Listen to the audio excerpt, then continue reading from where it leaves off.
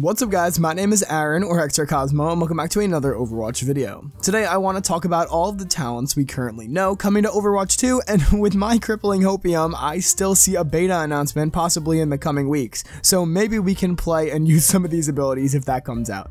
Let's get into it.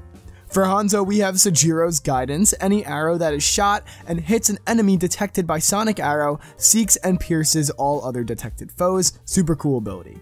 Reinhardt's currently revealed talent is called Epicenter, and it's basically an Earth Shatter circle and it travels in every single direction.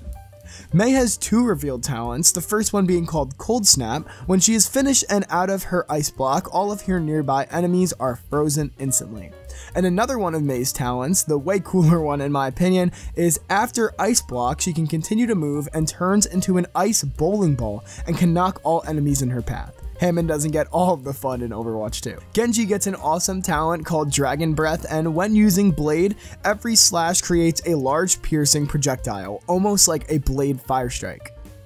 Torb gets two talents shown just like Mei, and the first is called My Babies. He can place three mini turrets instead of one big one, and those three turrets have freaking flamethrowers. Awesome, right? And Tracer has a few revealed abilities, but we only have one of them visualized for us, so I'm only going to talk about the one we know for sure because it has been shown off and talked about, which is called Chain Reaction. Pulse Bomb connects its explosion when an enemy is affected by its blast. Super cool as you can see on the screen.